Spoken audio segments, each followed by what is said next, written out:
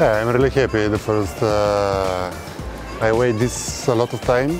I work a lot to, to come here, and uh, I'm really happy because this is one of my dreams to play in Russia and uh, to play in one team like uh, like Zenit. So I hope that uh, it, it will be really good uh, good year uh, for with with a good and good emotions.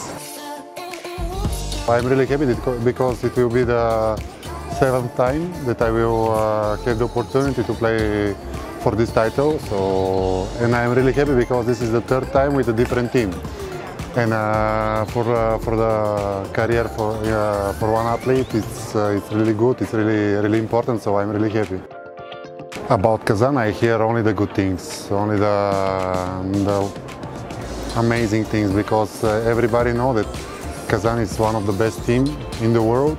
They they show this uh, uh, the last 10 years, so they win everything. They was all the time in uh, the uh, in the final. So what can I hear? Um, I hear um, the all good things about the Russia, about the, the, the championship in the Russia, and uh, I'm really happy because here uh, I, I feel like I'm in the in the best championship in the world. This is uh, yeah, this is different because in Italy we was uh, like three days of the of the winter we have it. So now you see the different uh, different culture, also the different uh, weather.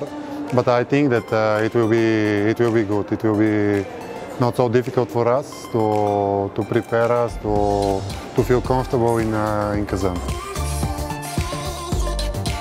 Я очень э, щастлива, что я, я тут, Что буду играть за «Зенитом». И мы, да, команда ждет полная подкрепа для Казана.